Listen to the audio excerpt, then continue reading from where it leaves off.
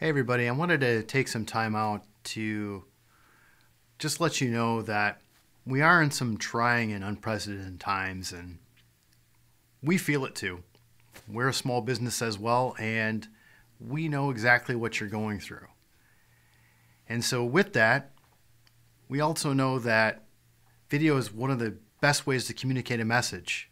And we're working with our current clients to help spread that message and to work through whatever they need to go forward. And that is something that we can do for you. As all of you, we are also following all the guidelines set up by the CDC, the federal, local, and state governments, and monitoring what they're doing. But please, we're here to help. We know what we can do and what we can do for you, and we want to make sure that you're getting the best possible support during this time. So, as always, just give us a call. Thank you.